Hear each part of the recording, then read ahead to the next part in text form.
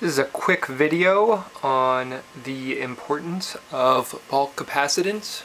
Basically what bulk capacitance does is it reduces the instantaneous draw from a power supply. I was having problems with the Sharpshooter 3 um, 7 bank drop targets because I could not get them to reset um, properly. So right now basically I have the 48 volt power supply up there. Uh, you can see that up at the top right um, and I, I'm gonna uh, trigger the drop targets. So if I trigger a couple of them, they seem to reset pretty good. But if all of the drop targets are down, and I try and reset them, doesn't work very well.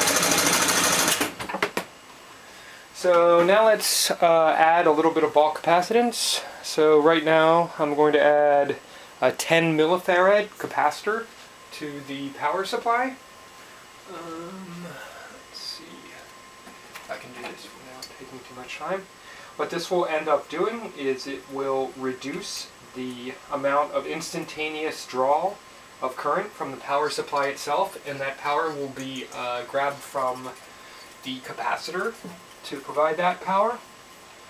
So there's a much uh, much less draw, instantaneous draw of current. So now I'm going to plug in the power supply again.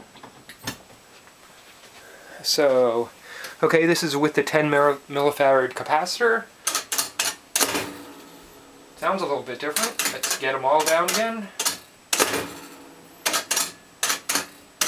Works 100% and it resets very nicely that's it and that shows you what the shows you one of the reasons why you want to add bulk capacitance to the uh, output of your DC power supplies. Thanks.